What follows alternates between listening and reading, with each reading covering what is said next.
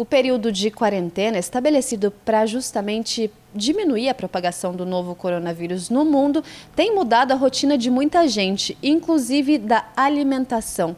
É mais difícil manter uma rotina em casa quando a gente fala de comer certinho, de comer coisas saudáveis. E justamente por isso a gente traz para você agora algumas dicas de como se alimentar bem durante esse período de quarentena com a nutricionista Milena Souza.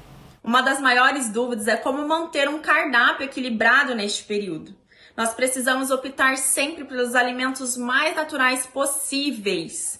As frutas, os vegetais, as carnes, os ovos, os leites e seus derivados e evitar o excesso de industrializados, que tenha sódio e açúcar demais. Então, descasque mais e desembrulhe menos. Outra coisa muito importante é aumentar a ingestão de líquido para nos mantermos hidratados e que de preferência seja a água.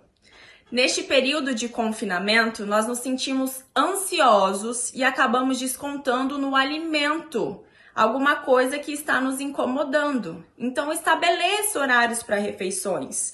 De manhã, café da manhã, horário do almoço e do jantar, para que evite ficar beliscando o dia todo. E caso você sinta vontade de comer doce, dê preferência às frutas mais adocicadas para evitar o açúcar. Alguns alimentos também contribuem para essa ansiedade nesse período, que são os alimentos naturais. É os ovos, os leites, as frutas, as frutas cítricas, até um chocolate que seja acima de 70% dá para consumir aí.